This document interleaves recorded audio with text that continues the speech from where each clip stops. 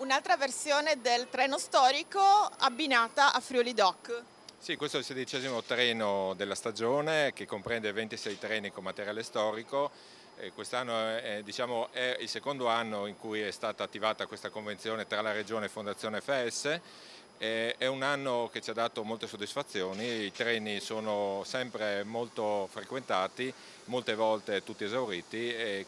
diciamo anche i territori che hanno partecipato alle varie iniziative sono molto soddisfatti di, questa, di, eventi, di questi eventi e della promozione che questi treni possono portare ai territori che vengono visitati.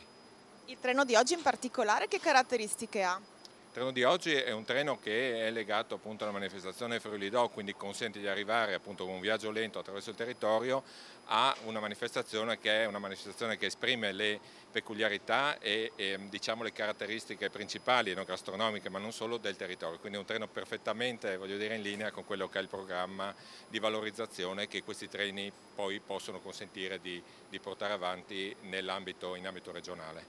Di che anno è questo treno? Queste carrozze sono del 1930, la motrice è una motrice diesel ma restaurata, quindi è un treno che in qualche modo ha le caratteristiche di omogeneità rispetto a quella che è un'esperienza di viaggio diversa appunto con materiale storico.